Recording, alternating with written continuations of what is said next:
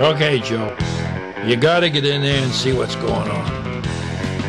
And this time, don't use the front door. You can sneak in the back to a field for the sheep or the goats or something. Joe, better call your wife. I think you're gonna be late for dinner.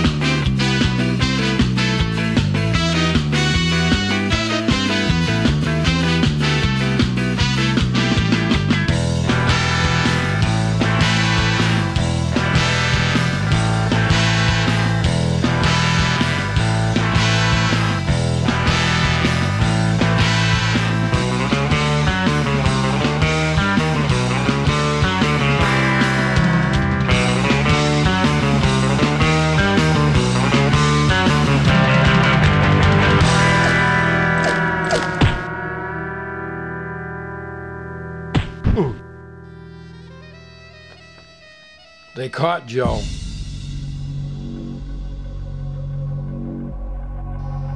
We need you to go in there and get him out. He was running recon, so we got no idea what you'll find in there. But you're the best mime we've got.